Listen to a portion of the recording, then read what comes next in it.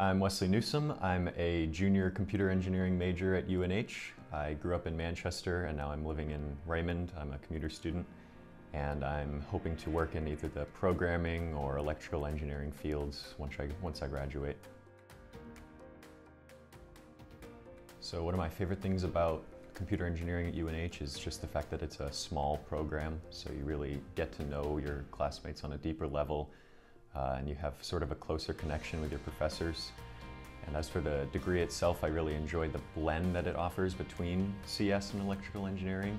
Uh, just the opportunity to kind of control which direction you want to take it in terms of your focus within that area.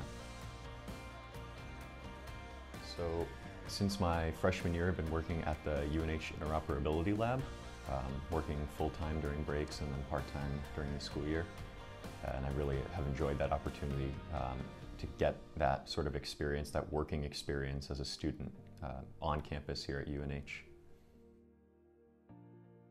So I really enjoy the sort of local feel. You have that classic New England sort of downtown feel of, of Durham.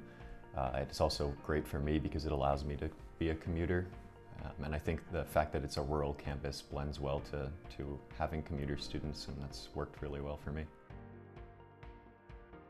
Definitely suggest to anyone considering coming to UNH to put a lot of thought into it, consider coming to UNH, uh, particularly if you want to look into the accelerated master's program or look into some of the student job opportunities and research opportunities because I think that's something that UNH really excels at.